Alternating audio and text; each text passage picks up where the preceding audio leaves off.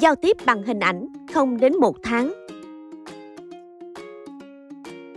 Giữ giao tiếp bằng mắt ở mức độ phù hợp và ở khoảng cách khoảng 20 đến 25 cm với em bé của quý vị khi giao tiếp với bé.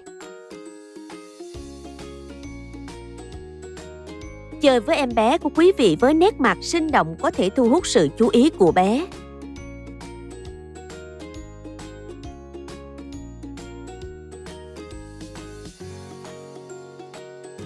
Để tìm hiểu thêm, vui lòng truy cập trang mạng www.fxx.gov.hk. Video này được sản xuất bởi Dịch vụ chăm sóc sức khỏe gia đình của Sở Y tế.